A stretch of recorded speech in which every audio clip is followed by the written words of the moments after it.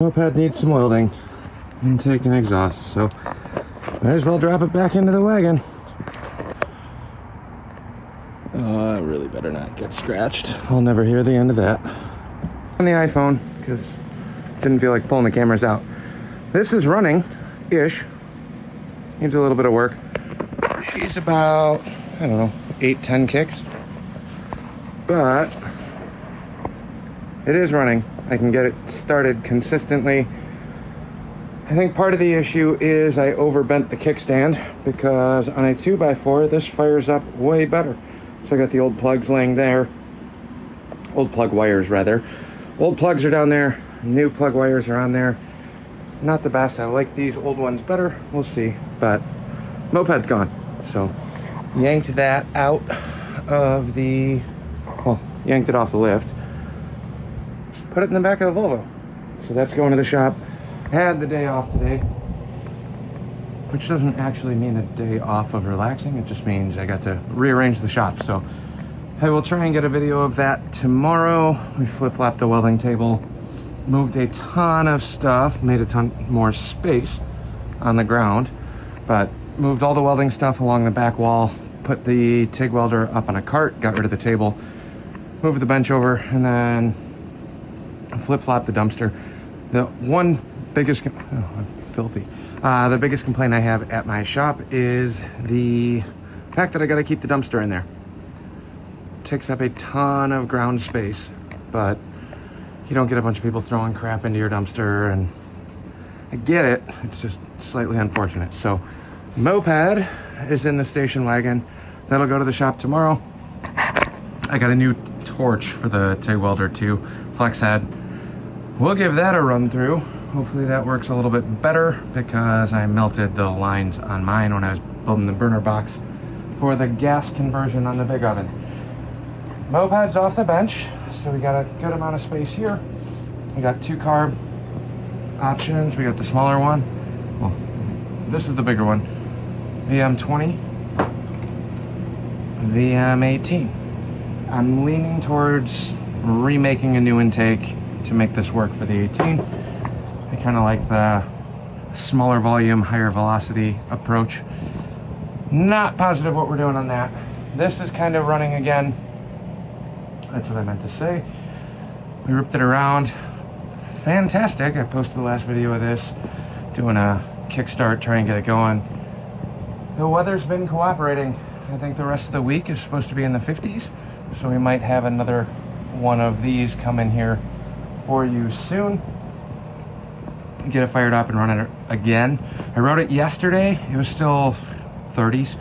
Um, it sputtered a little bit, but it ran better than it did in the last video. So I think at this juncture, this thing's been sitting for a little bit, and with the fuel leak that was happening out of the carb, I think I'm just gonna pop the carb off and do a quick, quick, quick carb clean on that. Give that a once over definitely starts easier on a 2x4. So, got it on a 2x4 now. I think I overbent the kickstand. It's probably flooding a little bit in terms of cold start. So before I go any further, I'm outside of the carburetor, I am gonna drop the bowl, just blow through the jets. I'm not taking jets out. We're still too rich on the mixture. I'm two and a half turns out right now. So that can get dropped but that's where we're at. Almost an empty bench-ish.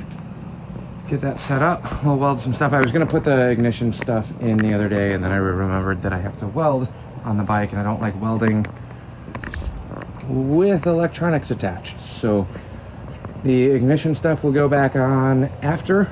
So we gotta fab up the intake, we gotta make the exhaust, and we should be in pretty good shape.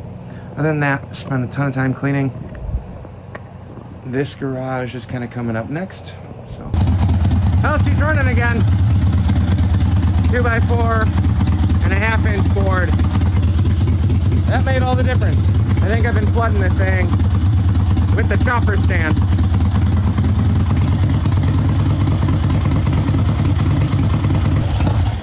And now we're out of gas. Perfect. That's what I wanted. Been having a hard time starting this with it on the kickstand.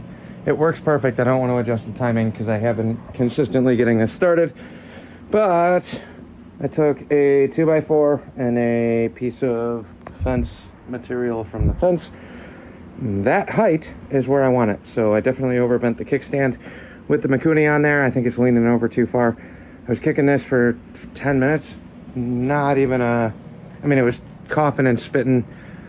And I could see a little bit of fuel shooting out the overflow. Put the boards down underneath the kickstand and got the bike a little more vertical. Still plenty of leverage. I don't have to worry about it falling over. So now I've reached that weird point of I overbent that one, so I'm either gonna have to torch and bend that one back or grab a stock one and rebend one softer. She likes that. I didn't see any of the fuel getting sprayed out. Now, I'm not stupid. I did look through the bore. I didn't see any fuel getting poured. Like, if the needle was stuck, which it was the other day, I didn't see any of the effects of that. It didn't look like fuel was pouring into the intake or anything like that, but that's helped quite a bit. So I just ran the float bowl completely dry. We'll try this again tomorrow. We got a couple days of 60 degrees coming in the next, pretty much the rest of the week. It's 50 plus. So let's close this. That's kind of where we're at. Thanks for watching. Quick little update. Moped's gone. Chopper's over there. Tomorrow will be either a intake manifold fab time lapse with some welding or we'll come back to this turd. I don't really know. Based on the responses to the last video I just posted, I should only be doing videos on this. You guys like these. Mopeds, not so much. I didn't expect everybody to jump on board with that. So if you are one of the ones that have been sticking around through the Garelli build, thank you. I appreciate that.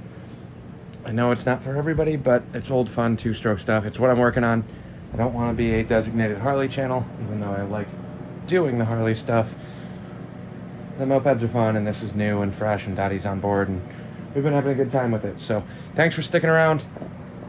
More of this tractor junk pile coming soon. Catch you on the next one.